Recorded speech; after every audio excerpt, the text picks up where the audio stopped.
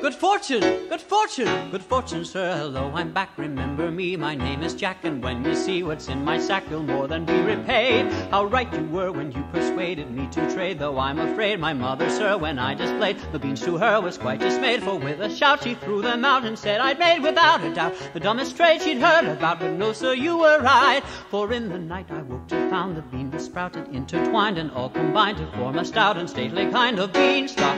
Up and up and up it grew up past the trees and up and through the clouds and up and up into the sky and up it climbed and so did I and up and up and up so high I thought I'd drop, I'd fall and die a violent death.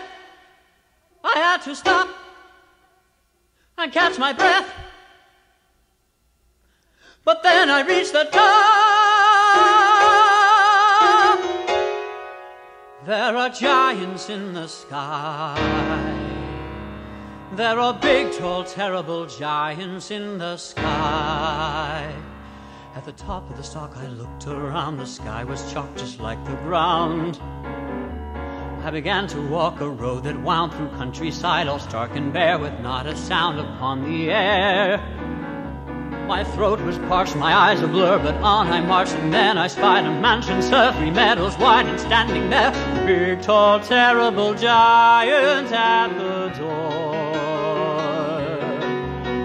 big, tall, terrible lady giant sweeping the floor. And I asked for bread and I asked for rest. And she saw me fat and she made me guess. And she made a bed of a big, soft giant breast up in the sky.